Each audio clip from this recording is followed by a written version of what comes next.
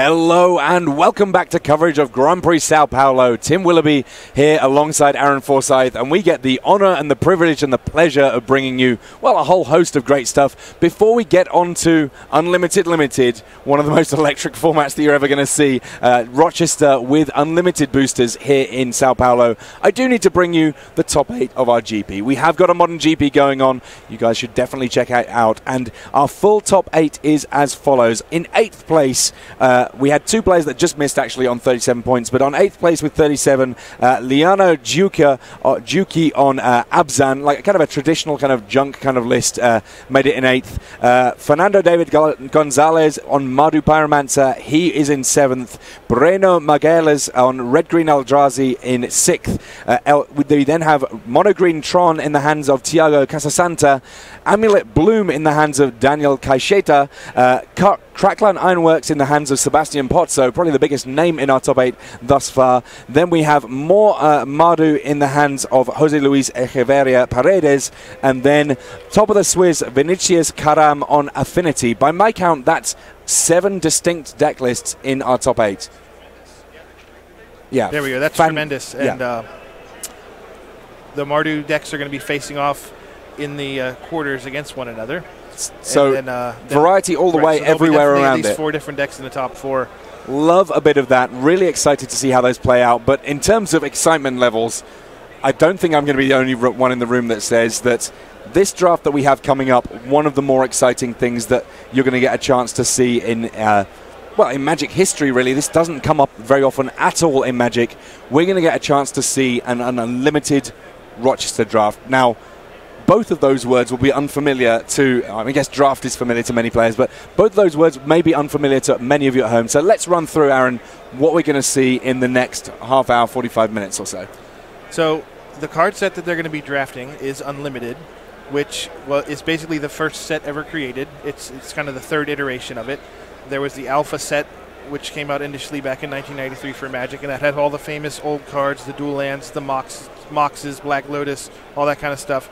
They added a handful of more cards that they forgot initially into yeah, the just, beta just kind of release. fixed a couple of little right. bits and pieces. Th- that was the beta release. It was also the, those first two were black bordered, uh, both very short print runs. Not a lot of those cards out there. Then they came out with Unlimited, which is the exact same card set as beta, in white border, uh, and a much a much larger print run. Still an by incredibly tiny amount by today's standards. So you know, a lot of these cards are incredibly rare, highly sought after collectibles, and some of the most famously powerful cards in Magic. Yeah, I mean, there will be a whole host of cards in this set that some of the players in this draft will not have seen in real life before because they, are kind of almost the stuff of legend at this point.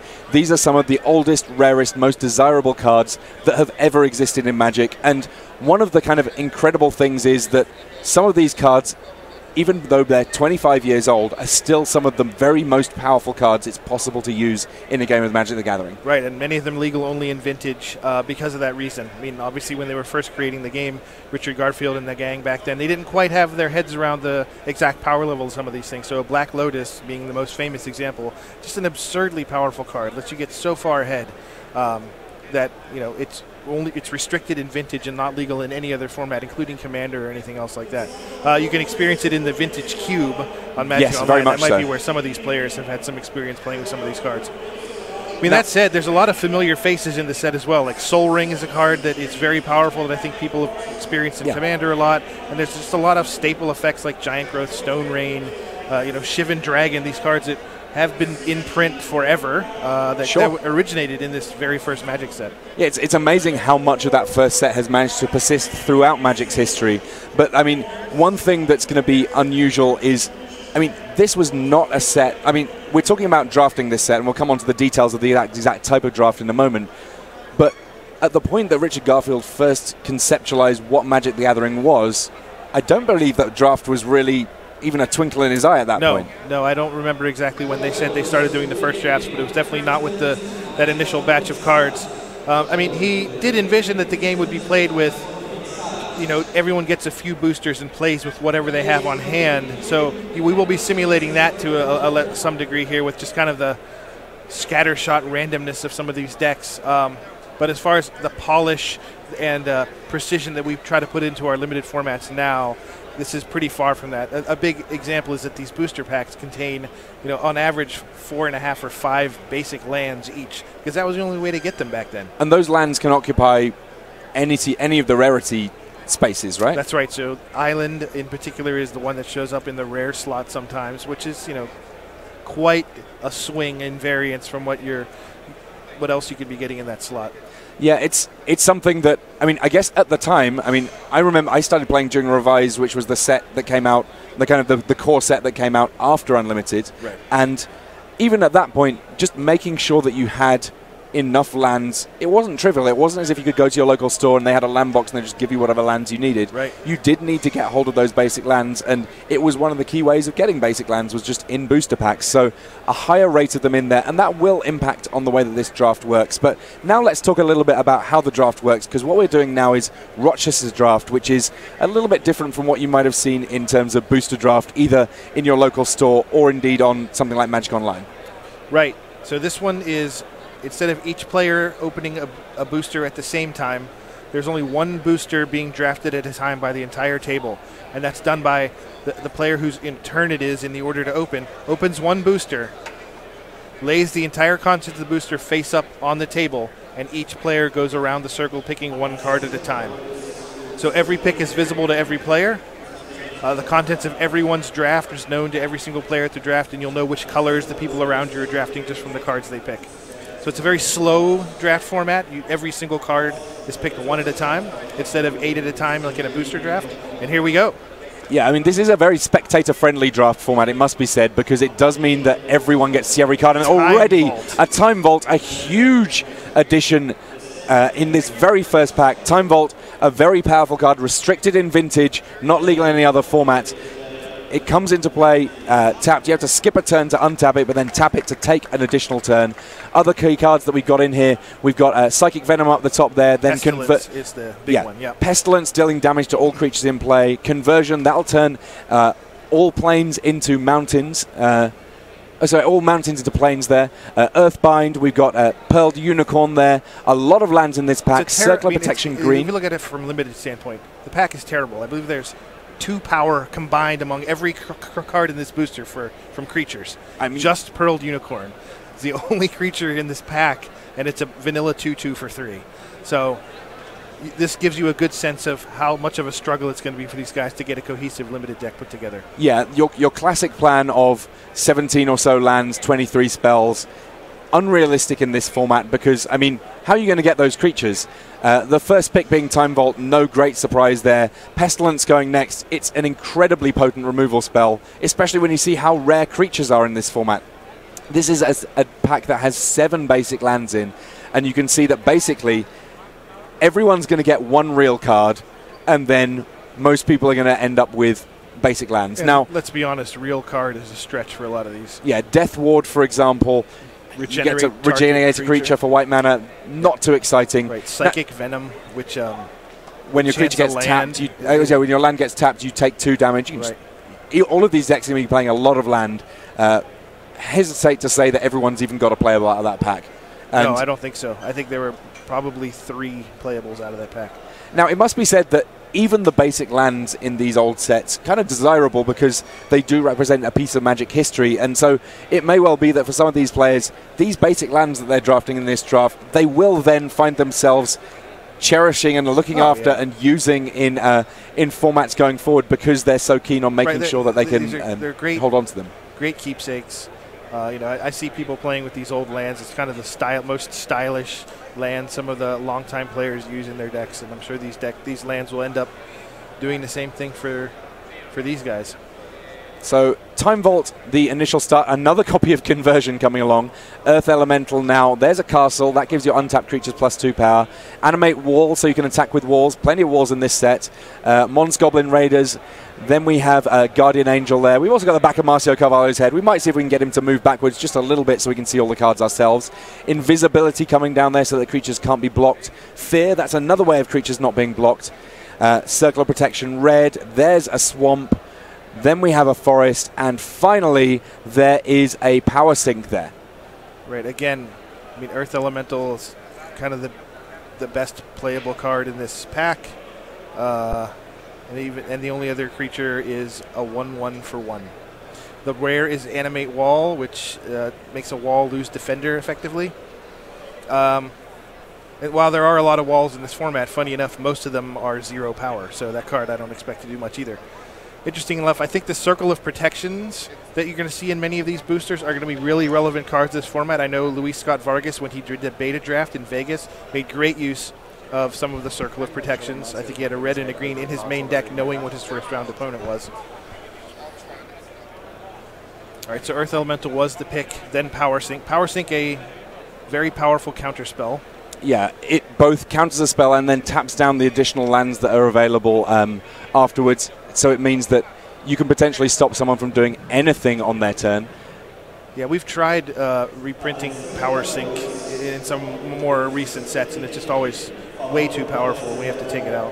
And of course, it has the text Interrupt, and Interrupt not a card type anymore. At the time, there were a very limited set of spells that you could play at Interrupt speed. So once someone played a, a Power Sink, you couldn't play a Lightning Bolt in response because Interrupt a tiny bit faster than Instant. That's right. We have long since gotten rid of the Interrupt card type. Yeah, All it- those cards are instants now in, Yeah, uh, it- in it Oracle. only having two speeds, Instant and Sorcery speed, makes life a little bit easier. Look at that wording. Target wall can now attack. the difficult bit about that being there's not very many walls that even have power. No, I think it's right. what, Wall of Brambles, Wall of Swords. Wall of. Swords is kind of the big winner. If you can pull off that combo, it's another white three, card five in this set. It's an uncommon. That's a yeah three five for four. Iron Star coming down. That one means you can gain life when red spells get cast. A few lands coming down here. Veteran Bodyguard, that a nice one. It can take damage in your place. Uh, can't quite make it. I think that's an invisibility underneath Marcio's head here. We might see if we can get Marcio to move back just a little bit so that we can all enjoy this draft. Uh, then there's a Merfolk of the Pearl Trident. Dwarven Warriors, they can tap to make a creature with power two or less unblockable. Spell Blast there. Fire Breathing. This has been a super low powered draft thus far. In terms of actual ways of dealing damage, some of these players, three or four picks in, won't have any in their deck. Uh, Circle of Protection, white and red in here. The Circles of Protection, pretty potent, uh, even in the main deck in Oh, this yeah. particular format, because being a two color deck, that's kind of tough. Um, But and you know what your first round opponent's colors are, so you can easily main deck the circles specifically to win that matchup. Veteran bodyguards of the rare. There you see it up on the screen. Uh, if it's untapped, then whatever creatures would get through to a hit you hit the bodyguard instead. And it's got five toughness, which is really large in this format. Yeah, so that, that one kind of a brick wall for a lot of things that are going on. Uh, you know, look at that devilish look in his eye as well. He's only got one eye, but it's looking right at you. Yeah, he reminds me of Lou Ferrigno, who was the Incredible Hulk in the, in the 1970s. Um, so, of note of what, what, what the power level of this format is like, there are only two common flyers, both of which have only one power. It's Mesa Pegasus and Scryb Sprite, so you're not going to see much as way in the way of evasion. Uh, there's a bunch of, at least two, there's two red common X spells, though, Disintegrate and Fireball, um, which is kind of the preferred way to win games, I think, in this format. Yeah, And I we mean- already saw Pestilence is another big common uh, game-winning card. Yeah, Pestilence, you do have to have a creature in play yourself uh, to keep it around. Uh, but there are obviously various ways of achieving that. I mean, the ideal would be having something like a White Knight in play that's got protection from black. Right. It will survive any amount of Pestilence hits, and then in turn mean that you can keep your Pestilence around. Lots of lands being taken here. No respect for Healing Salve. I would actually snap up a Healing Salve here because you know what? It's a spell that you can potentially play, and keeping one of your creatures alive from a piece of removal, a big deal in this Right, or in a, in a fight between two two-twos, you can keep yours alive with the uh, healing salve. Okay, moving along to our next pack now. So far, the, the kind of big standout card that's been opened thus far is a Time Vault. But moving on to our next pack, we'll go to our top down view. Let's see what we have in our next pack. Just being laid out here. We should hopefully find out what the cards are that have been are to select from soon enough.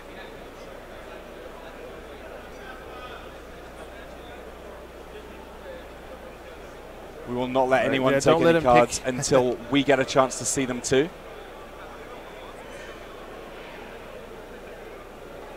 This is Hopefully, fairly short. It looks like, yeah. Well, I mean, I guess we'll see soon enough exactly what we've got going on here.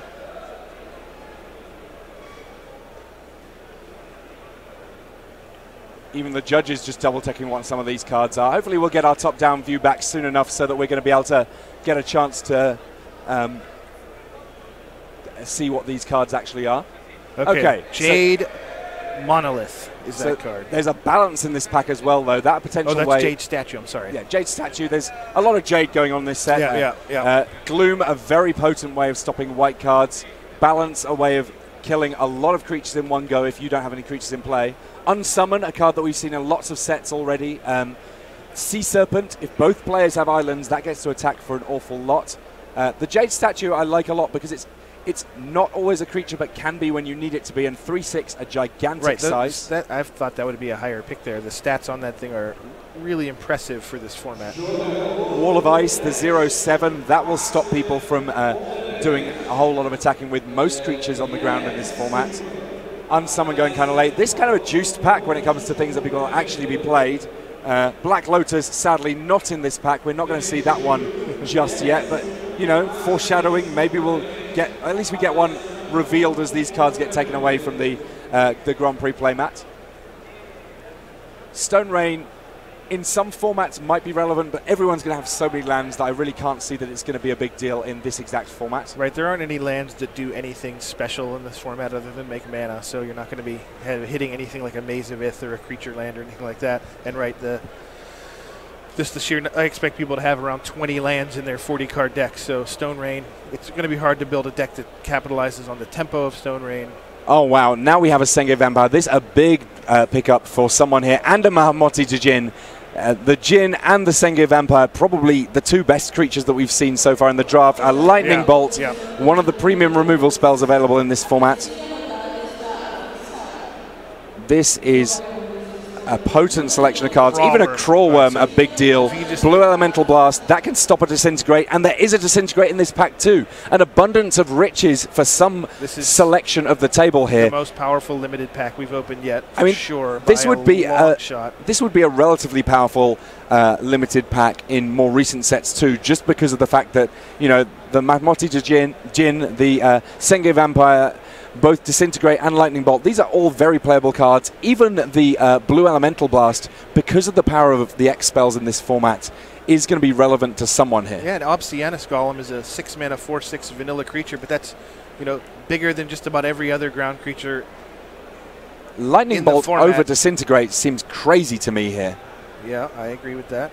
but it looks like someone getting a gift of a third pick disintegrate here. Fourth pick Sarah Vampire, uh, sorry, Sengir Vampire, sorry. Craw Wurm, oh no, Obsianus Golem going uh, next. Craw Wurm, just a great pickup here. I mean, re- even regeneration isn't the end of the world in this format because if you can get a big creature and keep it alive, that's going to be a big deal. And it's only things like disintegrate that can really get past regeneration. Yeah, run summon maybe, but yeah, in general, back in my younger days, putting regeneration on something like a Craw Wurm was a huge deal. Now you'll see that, that there was a moment there where a player took two cards. That's because the way that it works in Rochester Draft, it's not kind of like the first person picks and you just go in a big spiral round. One, whoever gets the last pick from a pack also then gets to pick. Uh, uh, so, as sorry, is the last person to pick from Right, a the pack. eighth and ninth picks. They get the eighth and ninth picks, and then it bounces around in the opposite direction. right. Uh, one of the details of Rochester we weren't quite able to get to because we wanted to actually jump into this draft.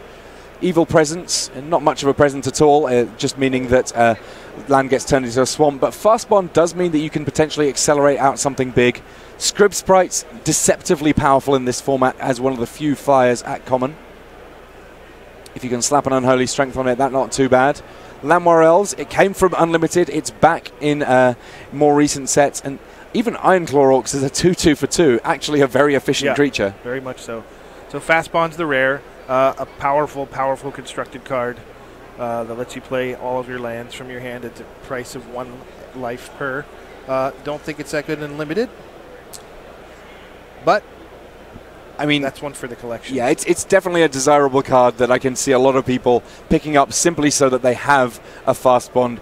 This is one of those cards that did not get reprinted a whole lot. Uh, it made it into unlimited. I think it made, may have made it into did, revised it as did, well. yep. But um, after that, it kind of went on the back burner as it was became fairly clear that it was very powerful. An easy first pick. Ironclaw Orcs second. That shows you how powerful a bear is in this format. Even a bear that is worse than average. Lamorel's being taken. Someone's getting a gift in this late Scryb Sprites. Um, it is one of those cards that in most formats, a 1 1 flyer for one, not a big deal. But you know what? This is not most formats. Right, I think it would was, was a better pick than the was it Wild Growth that someone The before? Elves? No, the, there was a, was a, there was another card that between the Llanowar Elves and the Scryb Sprites that was taken. Um, but yeah, Scryb Sprites. I don't hate Unholy Strength, even No. though uh, there's ways of getting a two for one there. It represents a little bit of extra damage. Right, and there there was a Drudge Skeleton in the pack, a one-one Regenerator, and Unholy Strength on that. If the both if the one player got both of those, is a a pretty good combo for for two commons in this format. Now, one of the nice things about this format, you are able to kind of, uh, as a spectator, take notes on how people's decks are shaping up. Are there any sort of key decks that look like they've got uh, a slightly stronger start going forward? Um, And I guess whoever's got the Pestilence must be in pretty reasonable shape. Yeah, I don't see that he got many other good black cards after that. He had got the Obsianus Golem and the Earth Elemental with this Pestilence, with they're both incredibly high toughness creatures. Wow! Here's our first big uh, collection card there in uh, Volcanic Island. Uh, Volcanic Island, one of the premium uh, dual lands, the original dual lands. It's just an island and a mountain all in one go. Comes into play untapped, no cost in terms of life, no cost in terms of anything else. Someone will be very happy to be snapping that one up. And the rest of the pack, well, we've come to learn about this whole just the just the one creature in there. That's not a skeleton in the pack. That is a raised dead, a sorcery that can return one creature from your graveyard to your hand. Look at the hypnotic text box of the Volcanic Island. Oh, I love it. it's they, there was a, a visual way of representing it being both red and blue, and that's the one that they went with in these early sets. It's only later that we started to have the kind of more blended colours across uh, text boxes. But Volcanic Island really popping off there. Uh, So the, the clear first pick. After Yep. that, though, well, I guess we'll have to wait so and the, see. the next pick's by the guy who has Sengir, Vampire, and Drudge Skeleton. He's picking Grey Ogre as the only creature capable of attacking in this entire booster. yeah, I mean, Sinkhole is an interesting card. Yeah, I mean, it's, it's a more efficient Stone Rain, so I can see why it got picked over Stone Rain, but I, I think that either way round, it's not going to be particularly devastating when it comes to the actual gameplay of this draft. Worth noting that we're going to be focusing on the, the gameplay from our top eight in Modern because we believe that that's going to lead to slightly better matches than uh, what we're going to have from this draft. And based on what we've seen so far, not necessarily a big surprise there. The power level of this draft has not been high in terms of. Uh, actual decks, though we're still hoping that someone is going to open some power before the end of this draft. Yeah, right now the people with the big flyers, the uh, Sengir and the Mahamoti, uh, uh, are, are kind of the clear favorites for me.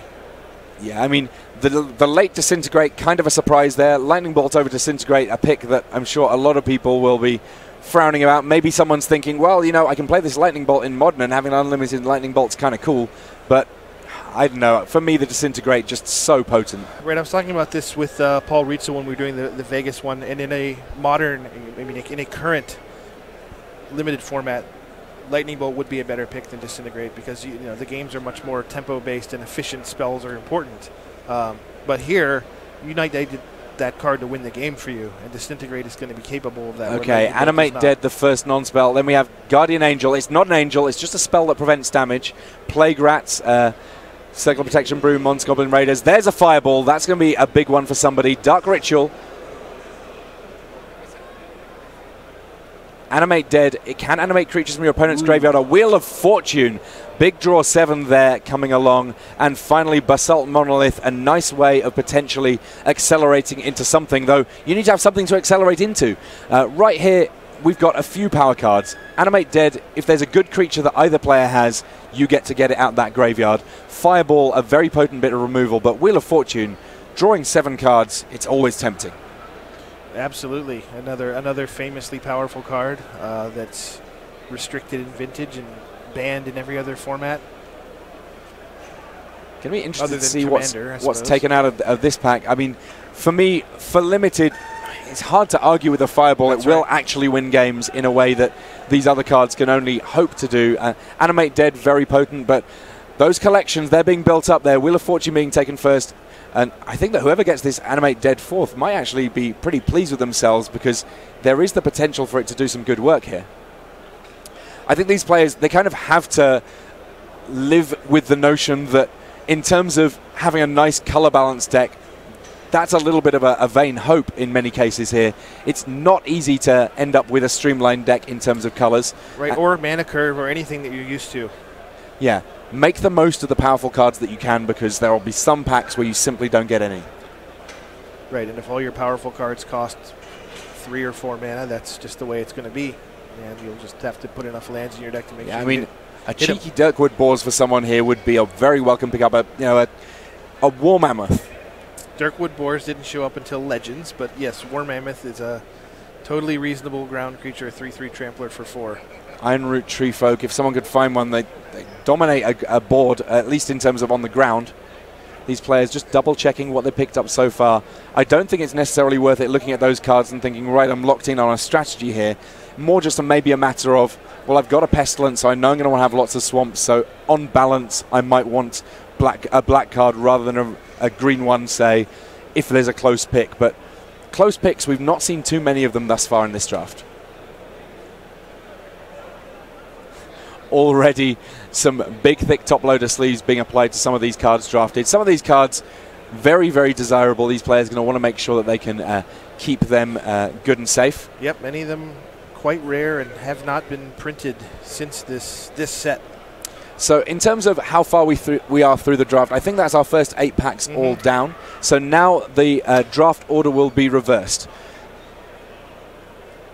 Tranquility that can deal with enchantments. Uh, Prodigal Sorcerer, Tim, as he's sometimes referred to, uh, a way of killing a lot of creatures. Our first creature with banding coming along in that Benalish hero.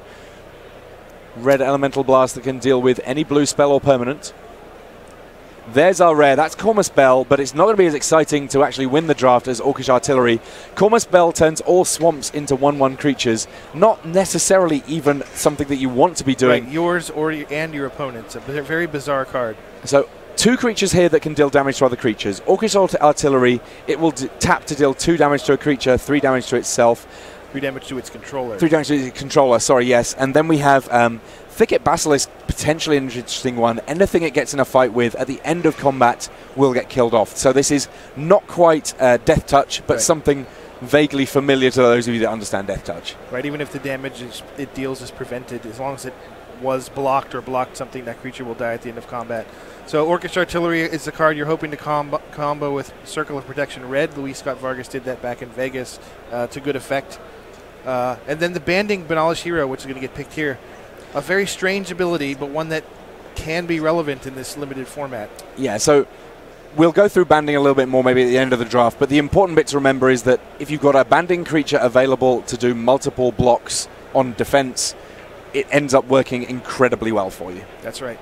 You get to split the damage however you want, and that way round, there's a very real chance that a big block, you don't lose any creatures, and your opponent does lose their attacker. Very fiddly little ability.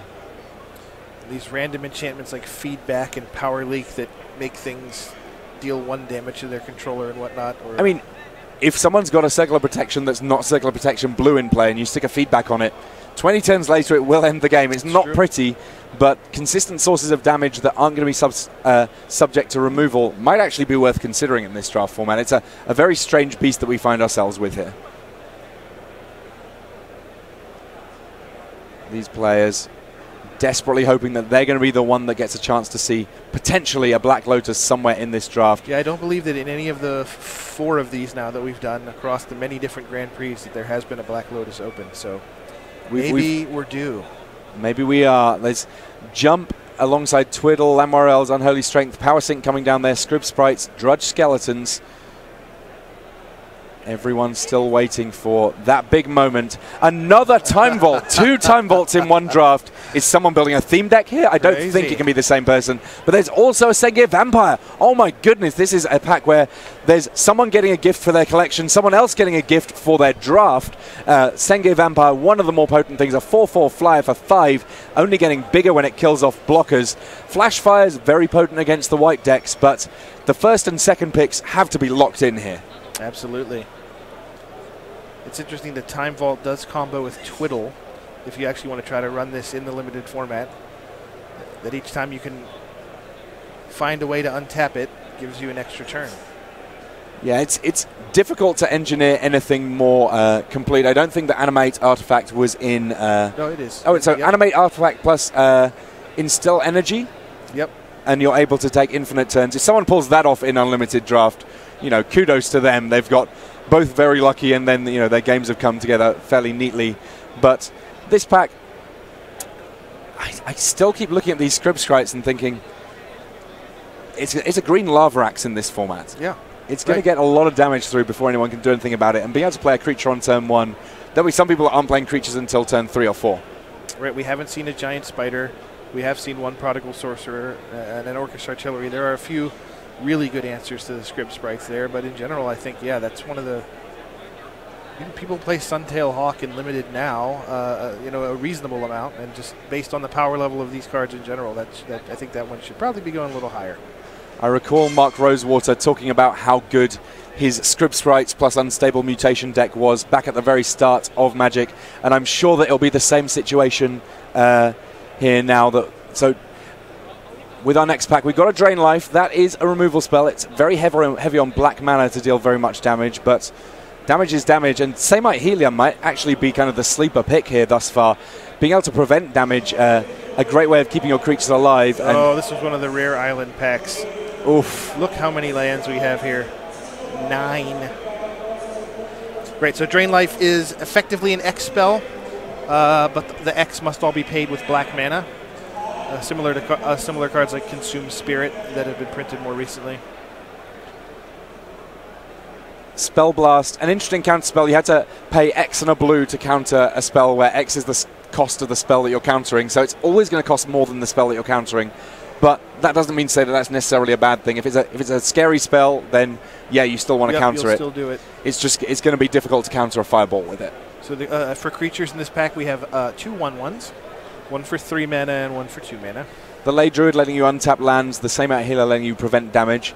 Realistically, I think that everyone's going to have enough lands. Uh, I don't think that the extra mana available from Ley Druid is as important as it simply being a warm body. Yep, that's that's the state of affairs here. I, I think uh, Drain Life and Samite Healer are f- by far and away the best cards in the pack. Samite Healer taps to prevent one damage to anything, can mess up combat. Uh, it, can, it again, it's another good answer to getting hit with a Scryb Sprite or something like that or return. So that card's actually pretty powerful in this format. Yeah, Spell Blast, the cheeky little counter spell, getting picked relatively early, but to be fair, on the wheel, someone's getting two islands. Yes, with nine basics in this pack. Uh, I think that's the high watermark that we've seen in any of these drafts for the number of basics in one pack. Yep. Obviously, when you get a land in your rare slot, not ideal, not what you're hoping for. At least these players each opening three packs as and getting a first pack from first pick from three packs in this draft.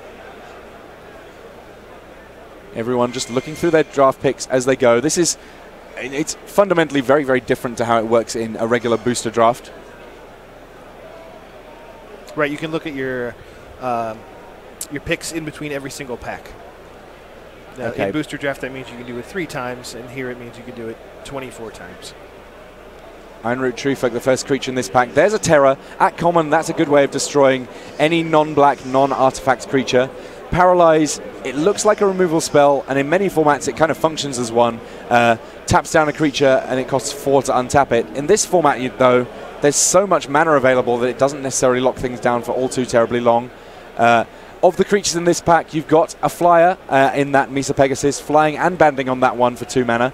Uh, Ironroot Treefolk uh, for f- five mana, you get a 3 5, and then there's Wall of Bone and Scathe Zombies. Wall of Bone, a 1-4 regenerator, which is just a nightmare to attack through on the ground. I believe Copy Artifact, the rare in this pack, so for one and a blue, you get to create a copy of an artifact that's in play. basically the card Sculpting Steel, which was in uh, Mirrodin, that clones effectively an artifact, except it costs blue to cast. And I believe it remains blue. Yeah, definitely one that's worth a little bit of a read. The templating has changed a little bit over the years in terms of how these things work. Oh, it remains an enchantment. Interesting. So, Tranquility can deal with a copy artifact That's right. version of a an artifact. Scathe Zombies as a three mana 2 2, actually kind of fine. Uh, Mesa Pegasus being picked up that late. Someone's going to feel relatively pleased Yeah, about that's that. A, that's a good card. Holy Armor. Uh, gives you toughness. Yeah, plus two toughness naturally, and then you can pay white mana to increase the toughness still further, as if that were not enough. Yeah, I think that we're we're likely to see everyone in this draft playing with, I'm going to say 20 plus land because, yep. in terms of playable spells, it's not a given that you're going to get one in every pack, and of course only 24 packs opened. In between packs, these players carefully reviewing, and we're we're going on to the next one shortly here. What do we have? Merfolk of the Pearl Trident. Shanodin Dryads. That's a 1 1 Forest Walker for one. Weakness and minus 1, minus 2, minus 1, so a nice bit of removal there. Circle of Protection Green. Pearled Unicorn. There's Earthbind, great against flyers. Another Pestilence. So Pestilence so far the standout card in this pack, but we still have the potential for something big. Another Kormus Bell. Yikes. Kormus Bell pairing very, very poorly with Pestilence. Wall of Air, Regrowth, and another Earth Elemental. Uh, wall of Air, kind of an interesting one. A 1-5 flying wall, so able to block pretty much everything in the format uh, without even dying. Except the Mahamoti Djinn that we saw earlier, yeah. Uh, Earth Elemental, a nice large creature in here. Regrowth, the card that of the cards in this set that sees the most play in Vintage. And that one of the ways that I'm sure some of these people might uh, evaluate the pack. But in terms of what's going to win this draft, I don't think the regrowth is going to be the early pick. Pestilence, clearly the most powerful. But if you're sort of two or three seats down in this draft, you're thinking, well, can I get an Earth Elemental? Can I get a Wall of Air? Like, Weakness, what are my yep. options? Mm-hmm. Dryads in you know in matchups against other green decks, very similar to Scryb Sprites and other just chip away one at a time ways that you may ultimately you know deal five damage to your opponent before it's dealt with, or something. someone very quick to game. pick up a third pick uh, pestilence there. Second oh, pick yeah. pestilence, that's kind of fair enough because anytime that you're you're thinking about these, the collectability of some of these rares a big deal, but. Taking a, a second pick that's not pestilence here potentially very dangerous. Well, as we're kind of midway through this draft now, uh, if you're not black at all, I mean, Pestilence requires quite a commitment. I think there's at some point you just can't take the most powerful card. You're going to have to think you have some a skeleton of a deck together, and then you're going to need to take cards for your deck. I now, think we're at that point now. What was the rarity on Pestilence in uh, in Alpha Beta Unlimited? Common. Because I know it came back at common in, uh, yeah, in it, as a saga. It, it, it, was common, right? All of those times. It's a ridiculous common um, that you know takes over a game to keep your opponent from all of the cards in his hand are dead effectively once the pestilence comes down. Yeah, the best you can hope for is maybe try and wait it out and hope that the pestilence goes away once you kill your opponent's creatures. Giant spider in this pack, a big old creature. Shanodin Dryads, Merfolk Pearl of Trident. We got weakness and drain life again, and living lands there uh, coming down. That one, interesting how that one plays out alongside um, the likes of pestilence. Right, so that Living Lands makes all lands into 1 1s. We've seen multiple Kormus Bells that make just swamps into 1 1s. I mean, in a format where people don't have very many creatures, Living Lands suddenly changes that dynamic quite a bit. All forests oh, become 1 1 creatures. Forests. Yeah. You can see that, you know, that is a, a very literally a living land there jumping up to say boo. So Drain Life, uh, I think just black in general has been the best color in this draft by a mile with multiple Pestilences, multiple Drain Lifes, and multiple Sengir Vampires. So whoever, whichever players are the black drafters, I believe are sitting pretty right now. Yeah, only the one Terror thus far, um, but potential for that one to show up. I mean, the power of the black commons in uh, Unlimited, very high indeed in red, you do have the potential for all of these X spells, but we've not seen too many of them in this draft thus far. I believe just a, a disintegrate and a fireball. So white ward there getting picked up. A whole cycle of white enchantments that can give protection from each color to a creature. Right, white at common has five circle of protections taking up five of its slots, and at uncommon has five wards taking up five of its slots. So uh, you can see why the creature counts are so low in these sets. There's just so many ridiculous, ridiculously bad enchantments by today's standards. So fog coming down here. There's another sinkhole. There's been a few of them come out.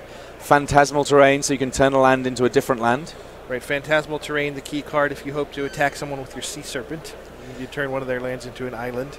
Howl from Beyond, kind of an X spell. Oh, it is an X spell, uh, giving an instant speed a creature plus X power. But there is a plateau, and talk us through the artwork on that plateau because if you're used to uh, other other sets, you may not have seen this artwork. Right. So the the most common plateau from Revised has a different piece of art than this one. Uh, this one by by the the newer one's by a guy named Cornelius Brudi, but this one is by Drew Tucker. And the story, as I know it from working at Wizards, is that this art file was lost. The just the the graphics file was lost between the printings of uh, Unlimited and Revised, so they had to come up with a new one. So. You know, of the 10 dual lands, this is the only one that, that changed art. Uh, and so th- this one is definitely the OG super cool version of the card. Now, the uncommons in this pack, very cool. We got Black Knight, uh, a 2 2, protection from white for 2, one of the most efficient creatures in this entire draft that we've seen. Karma will punish those players having lots of swamps yeah, what a brutal play. card that is. Just does you lose one life on each upkeep for each swamp you have in play. Life Force also just an absolute hammer blow against players looking to play black because it's an enchantment that sits in play and lets you play black black in order to, uh, sorry green green, green in order to uh, stop those black spells even coming down. Right, it's a card that just makes no sense in the current color pie. It's a green enchantment that lets you counter black spells by just paying two mana. You do this every turn as many times as you can afford to do it. It's a completely unfair card against black decks. Uh, so yeah, between that and Karma, maybe the black decks will be kept in check by some of these vicious, vicious hosers. Yeah, I mean if if, you, if the Karma player plays against a Pestilence player, what like what's the Pestilence player meant to do? Because I mean they, they need to get the damage in fast if they're going to win the game at all because Karma each and every turn that's one point of damage for every swamp Right, and that the Pestilence damages Pestilence player both has. players, so you can't use that as a, as a way to try to win the game. Um, we saw a couple other good comments in that pack. Both the Howl from Beyond, which can surprise kill you if an attacking creature gets through, and Craw Wurm again, uh, the biggest the biggest comment on the block, kind of the precursor to the colossal Dreadmaws that we like to print in all of our sets now. So Fireball's the current standout in this pack. There's a reverse damage which doesn't necessarily like, the name doesn't necessarily describe everything it's doing. It means that if you would take damage instead, you can gain that much life. So it's sort of double prevents damage, I suppose. Wall of Ice, a big old wall coming down in green here. Uh, zero seven wall, I think that one is. Uh, a few interesting options here. Circle of Protections, again, just coming along left, right, and center. Protection blue. I mean, there is that uh, Mahamoti Djinn that you are going to want to find a way of dealing with. Uh, creature Bond, Terrible card. yeah, not really worth worrying about too much. Bit of text on it, but none of it too relevant to how this draft's going to play out, I wouldn't imagine. So we saw uh, they were passing. There's no way he's picking that card. He must just be reading. He's it. reading this card because it's. It, I mean, if you kill a creature with a creature bond on it, then the, the creature's controller does feel pretty unfortunate. But uh, how much toughness have we seen on most of these creatures? Right, it's one or two. Um, you saw them passing that uh, hard-shelled, black-bordered Wheel of Fortune across the table. That's what they're using to mark whose turn it is in the draft. Uh, in a Rochester draft, the spot between the first pick and the eighth pick is called the wheel because that eighth pick does get to pick eighth and ninth. So that's that's the the cool, flavorful marker that they're using to delineate who who gets the eighth pick in the draft. The eighth pick having just happened there, two picks in a row, and now we, we see whether or not Creature Bond is going to go before all of these basic lands. It's not looking too hopeful. Oh, right where it deserves. Now we'll see if someone can creature bond someone else's wall of ice and yeah, seven. terror Yeah. it to deal seven damage to them. That'll be a poetic way for one of these games to end. All right, so we, we continue to work our way through this draft. Double Karma spell in one deck here alongside Black Knight. I'm spying down the bottom of our, our screen. I don't know whether or not you want to play these Karma spells in your black deck. No, but he does have Basalt Monolith and Obsianus Golem, which can get out a very quick force. Double fireball in there, though. Yeah. That I like. Flash fires if he fi- finds himself up against the white deck that might karma him. I, I, I'm okay with this. There's going to be a lot of waiting around on drawing your good cards in this format in a way that maybe curving out might be the plan in many other draft formats. Yep.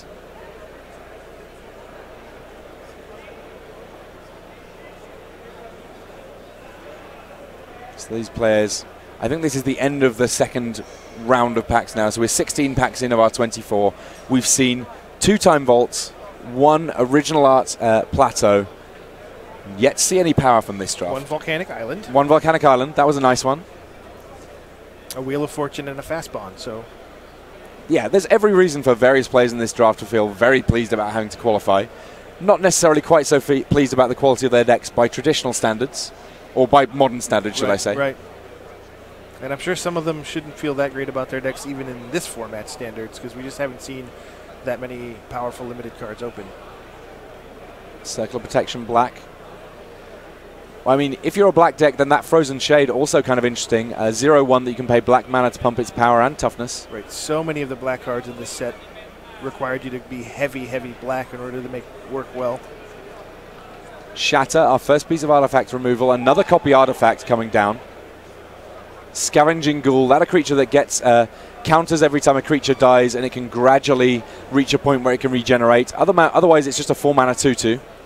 And Wall of Stone, setting the new toughness record for this draft. Watch out, Creature Bond, you have a new target on hand. Zero eight for three.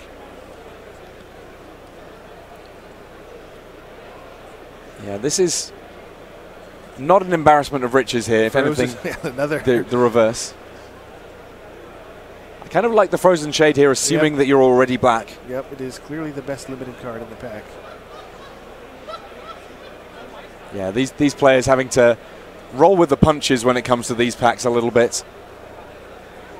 Six lands in this, sorry, seven lands in this pack.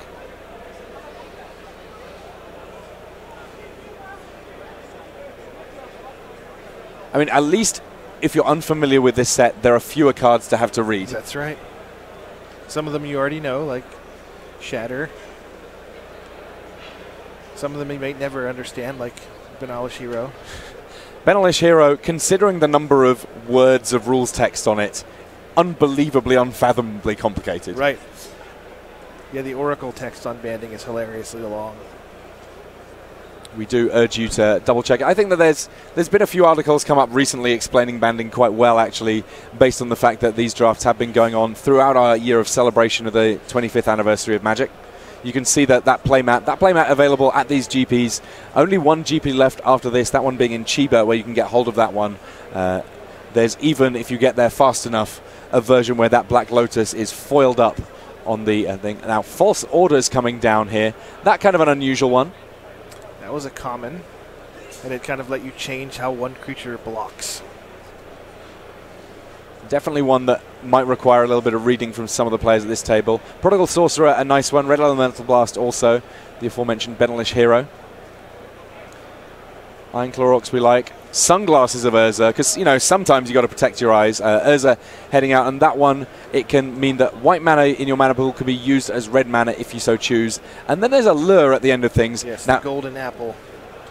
if uh, the player with a Thicket Basilisk is able to put a lure on their Thicket Basilisk, this can work very well.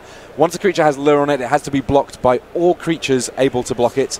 And of course, Thicket Basilisk destroys every creature that blocked it. It's not Death Touch, it's just a triggered ability that every creature that gets in a fight with it will end up uh, dying. So, Thicket Basilisk Lure, one of the very first combos that we saw in Magic of the, Gathering. Earliest Wizards is building our decks for us combos. One has to wonder if an alternate universe, channelfireball.com was called thicketbasilisk.lure.com. the same vintage in terms of these uh, combos, So even if one of them is a little bit more potent. So I imagine that is the Basilisk player that took that. And if you can put a regeneration on that Thicket Basilisk as well, suddenly you've just got a reusable Wrath of God every turn. Right. So I think I think Prodigal Sorcerer was the most powerful card there to pick, but the, if you're green and have the Basilisk Lure is a pretty cool thing to try to pull off. The games where you pull it off, I think there's a good chance that you're going to win those games unless someone can find their Fireball or their Terror or similar to kill off your uh, creature somehow. And you can even get it to where, you know, lure on an Ironroot Treefolk, attack and kill your opponent's only creature, and then they can't play anything else because the the Treefolk would just pick it off. Gradually working our way around. The, the countdown very much happening in earnest now to see whether or not we're going to see a piece of the Power 9. For those of you unfamiliar, that's one of the five Moxes. Uh, Black Lotus, Ancestral Recall, Time Walk, or Timetwister. Haven't seen any of them yet in this draft, but a lot of fingers firmly crossed in the hope that it could happen yet. Yeah, mine are. That's the most exciting part of this. Another Pestilence. It is a common. Stream of Life alongside it. That the X spell that lets you gain life. Not quite a fireball. No. The unfireball. Psychic Venom. Grizzly Bears. When we refer to Grizzly Bears, that's why. Uh, Orcish Oriflamme alongside a Nether Shadow there. Nether Shadow, a creature that gets to come back if there are lots of creatures above it in the graveyard. But realistically speaking, how many creatures is anyone going to have to put in the graveyard above it? Right, that's the rare. It's a two mana, one one haste uh, that can come out of the graveyard, graveyard if there are three creature cards above it. It's a graveyard order matters card. This is one of the reasons that in Legacy you have to keep your graveyard in the correct order. Nether Shadow does care about where the uh, cards are in the graveyard. Some pretty cool art though on that one. Now, Orcish Oriflamme, in this set, its uh, casting cost three colorless and a red. When attacking all creatures, get plus one power. It was one of the cards that actually ended up being misprinted in um, in Alpha as a casting cost of one and a red. That's right. Pretty big dis- difference there. Now, there's a Wanderlust sort of chilling out on the bottom of the screen. Not quite sure why. There should only be 15 cards in this booster. I, I, I imagine it's possible there was an extra card in the pack. And if there is, then that's a a nice pickup for someone because Wanderlust is actually quite a quite a powerful card. It's a consistent source of damage, dealing one damage to target creature's controller during upkeep. Right, you just put enchant your opponent's creature with it, and they take one. Stick it on turn. one of their walls, make them pay. That's right. Now, as things stand, Pestilence the most powerful card in this pack. Uh, we are now in pack, sort of nominal pack three, though. We're getting towards the end of the draft, meaning that if you're not already in black, that one might be a difficult pickup. What's the next most powerful card? Uh, I think it's that one. Yeah, I think Grizzly Bears is a reasonable choice. And these days, you want your Grizzly Bears to have some upside. At that point, just having a Grizzly Bears, you're already pretty pleased with yourself. Not that there were that many people drafting at this time Right. when it came out.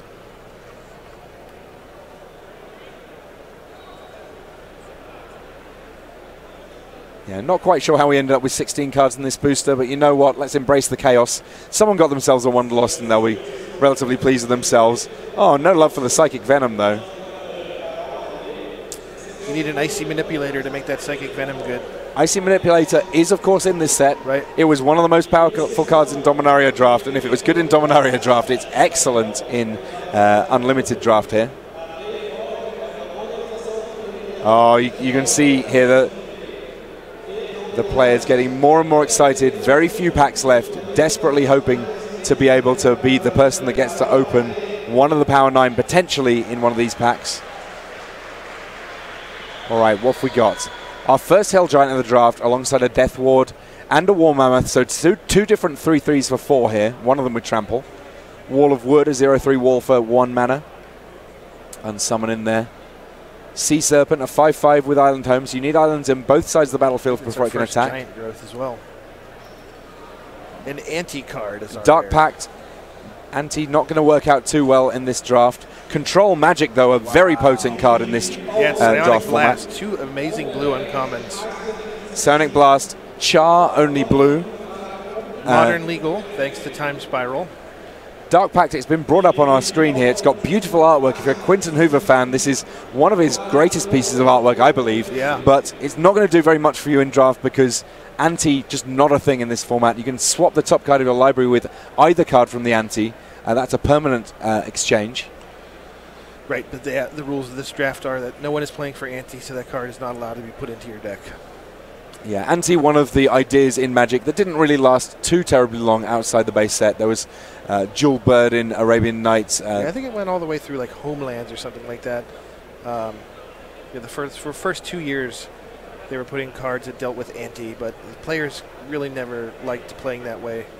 Yeah, losing your most powerful cards, not something that's too attractive. Control Magic, a lovely pickup for someone yeah, there. Someone picked Sonic Black's Blast ahead of Control Magic. I think that's just wrong. Control Magic, I believe, is I mean, you get to effectively kill a creature and Right, it- put a creature into it's play. mind control. There's been many variants of that card in Bolas's Clutches from Dominaria, but it's only four mana, and just the incredibly small number of good creatures that anyone's going to have in their deck, just taking one of them is incredible. And it says something that there are lots of creatures in this in this format that Wizard of the Coast would never print uh, a, a, direct reprint of because they're just not powerful right, enough. Absolutely. And then you've got something like Control Magic that I can't imagine that R&D is too keen to reprint an exact Control Magic because no. it's a little bit too powerful. Right, we point. printed at five, and usually even then it's at rare. Um, so at format out uncommon, it's just a, a just a back-breaking card. Okay, so we have a whole host of cards already coming out. Nothing too terribly scary just yet. Flight might be uh, relevant if you can put it on a big creature. Sea Serpent coming down now, another giant growth. There is our Rock Hydra, Big Expel, a White Knight, a Resurrection, and finally Goblin Balloon Brigade coming down. White Knight, lovely in a Pestilence deck or against one. Uh, Rock Hydra initially getting picked up to be red there it's a creature X spell effectively. Yeah. It's, it comes with a number of heads equal to the X that you pay for it, and if it would take damage, then your uh, it loses a head. It gets smaller unless you spend red, and you can then gradually put more heads on it at a relatively expensive three red mana to do so. Right. This kind of was the forefather of many of the Hydra cards that we print now. We've moved that creature type into green squarely, and but you know this one's not too bad. If you're going to be playing 20 lands in your deck, you could easily make an 8-8 Rock Hydra. It's going to dominate the battlefield.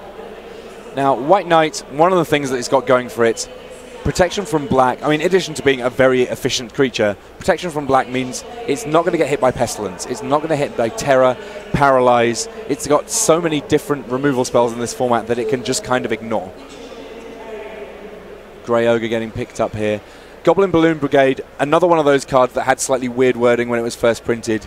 It reads red, goblins gain flying. Oh. It only actually refers to itself. That's right. So it's a 1 1 that can gain flying for a single red mana. And it's uh, strictly better than Mon's Goblin Raiders. Yep. That was something that was happening even in just the first card set ever made.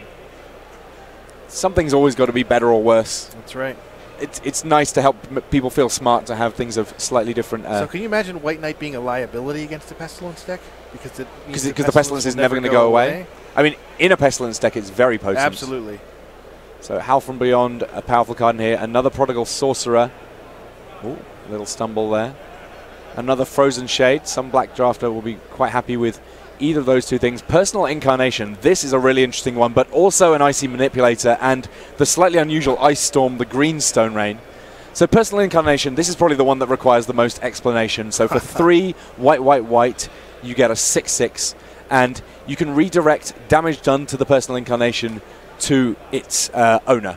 Um, so that means that it's a 6-6 that can take kind of as much damage as you want. Um, um, you can keep it alive very easily, but if it does die, then the caster loses half of their life, rounding up that loss. So it's a bit of a risk. Right, but a six-six is a gigantic creature in this stats format. on it are incredible, and yes, if if your opponent fireballs it for six, you can just take one of that yourself if you want to and keep it alive. Uh, it's kind of the opposite of Veteran Bodyguard. The Veteran Bodyguard took all your damage onto itself, and this one lets you take the personal incarnation's damage onto you. Not surprised to see uh, Icy Manipulator go first because, firstly, it goes in any deck very easily, and there aren't. You don't even need to tap down very many things in this format. There, the chances of someone having two terrifying threats comparatively low.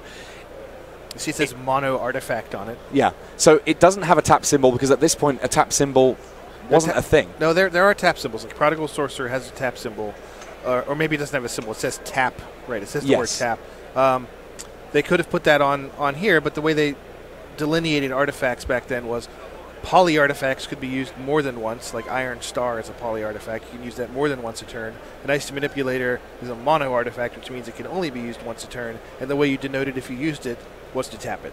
And here we can see Prodigal Sorcerer neatly brought up, up for us there, says tap to deal one damage right. to any Sorry, target. You're right, the tap symbol didn't show up, I, I believe, until it was revised. It was a T kind of on its side, right. and then when you got to I think fourth edition, it became more similar to the tap symbol that we know and love these days. So War Mammoth uh, and Hill Giant again coming along in pairs. These three threes for four. One of them has trample. One of them gets to be red. Which is better is anybody's guess. So here's an animate artifact. So in principle, we could get our animate artifact onto a um, a time vault here. And there was an instill energy in, in this draft as well. Volcanic Eruption, an interesting one. Another X spell, X blue, blue, blue. And it means that you get to. Destroy X mountains. Yeah. Very blue card. Just the most blue card imaginable. The animate artifact, interesting. It means that you get to take an artifact and give it a power and toughness equal to its converted mana cost. So very good against zero cost artifacts, just gets to kill them. Uh, Copper Tablet, another interesting one. It's dealing one damage to each player during their upkeep. A consistent source of damage to both players, but your opponent taking damage first. Right, we haven't seen many expensive artifacts that, that animate artifact could make it to a threat. I guess Icy Manipulator is kind of the most expensive one, but I don't think Yeah, turning your Icy into a 4-4 is the right play here. Um, but yeah, putting it on Time Vault, if you have Instill Energy, now suddenly you have an infinite turn combo. That's kind of the dream. and that was, I believe, another one of the kind of the duelist original most powerful combos in Magic. I mean, a combo that lets you take all the turns has to be among the most powerful things that you can be doing in any format. As we saw in Modern Yeah, uh, earlier, taking the Taking Turns deck at the beginning we like a bit of that. I mean, it looks like the person, or one of the two people, should I say, with uh, a time vault may get the opportunity to assemble this combo. I kind of hope it happens. Um, whether we get to catch it on camera or not, it's just a nice little story from the early days of Magic. And to me, those combos were the things that took me from someone who was like, oh, this game seems kind of fun to I want to play this game and get lots of cards and play a lot, was the potential to do something really cool and unexpected. And when uh, the original encyclopedia of Magic that had images of all the cards in came out, and it became easy for everyone to know what every card did, comparatively speaking, uh, that was the moment that I was fully invested. And since then, we've of course seen a zillion different combos come up across all sorts of different formats, and that sort of thought experiment of what you can do with Magic, as big as uh, actually playing the games for me. Yeah, the combo that blew my mind when uh, someone did it against me was Serra Angel and Stasis. Oh wow, yeah. You've got a vigilant creature and other things and not untapping. Sacrifice coming down. That's the first one of those that we've seen here. You can sacrifice a creature to generate a lot of mana. There's a clone in there. Uh, Lightning Bolt, of course, just a straightforward removal spell. Clone gets to come into play for four mana as a copy of any creature.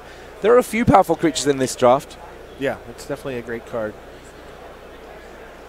You can copy your own or your opponent's. This card's been reprinted many, many times. Yeah, it's Conservator, a a way of preventing hilariously damage at a bad time. damage prevention artifact, but maybe it's good enough to play if you're running short on cards. Yeah, this this is the point where people will be looking through their pile of cards, hoping that there are more packs than there in fact are, because we are fast approaching the end of this draft, and right now, what you've got is pretty much all you're going to get, um, depending on your seat. Conservator went second. Speaks to the power level of these cards. Another I- reverse damage as the rare. Yeah. That's not what anyone was hoping to see.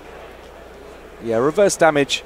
Yes, if someone points a giant fireball at your head, you feel pretty pleased about yourself, but it's not impacting the board. All it's essentially is is a really big life gain spell. Right, and it only works on damage that you take. You can't even use it to save a creature. Nice bit of artwork on it, though. You know, Dameon Willich. we didn't see too many from him. Doesn't look like she's taking damage. She's taking the reverse of damage. She seems quite pleased about it.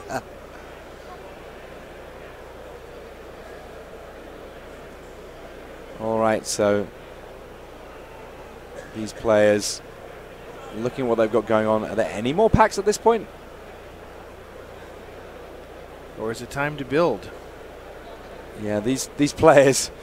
You know, Marcio Carvalho, he's already been through one of these drafts, so he's got a fair idea of how these, thing, these things work. But all of these other players, there's no reason to think that almost anyone on the planet, beyond the people that we've seen uh, in our uh, various events this year, would have drafted with Unlimited or indeed Beta. It's just not one of those sets that's really uh, ever designed for draft or used for draft at any point. And so that is the end of our draft. We didn't get a chance to see any pieces of power. If anything, the thing that I'm most excited about is potentially there to be some kind of shenanigans around Animate Artifact on uh, Time Vaults. Th- but there were some very powerful cards in there. Oh, yeah. And I think that we really did get ourselves a bit of a history lesson there about both the the good things about the bad old days and maybe some of the things that are a little bit more frustrating. We got an island in the rare slot. Yeah, absolutely. We got a, a nine a nine basic land booster. These things do happen. We've seen it here first. Uh, and these guys, they are going to now get together, well, go off on their own, I guess, build their decks. They will be playing it out to see whether or not they can get the title of Unlimited Limited Master. Right now, Marcio Carvalho, having already won one of these drafts in the past, he, in Barcelona Right, he that's crazy. qualified and won with a Shivan Dragon. This time round, we didn't see any creatures quite on the power level of Shivan Dragon, so it's going to be a bit more a slog to, to win those games, but we will be able to bring you details, at least in the text coverage, of how these things played out as we look at heading back toward our modern Grand Prix. For those of you that have sort of lost track of where we're at in the modern, uh, we have our top eight. Uh, we have Affinity, a couple of Mardu decks, uh, Abzan, Red Green Eldrazi, Tron, Amulet Bloom, and Krark-Clan Ironworks. We'll get a chance to bring you that top eight soon enough. Do not go anywhere. We'll have more Modern after these messages.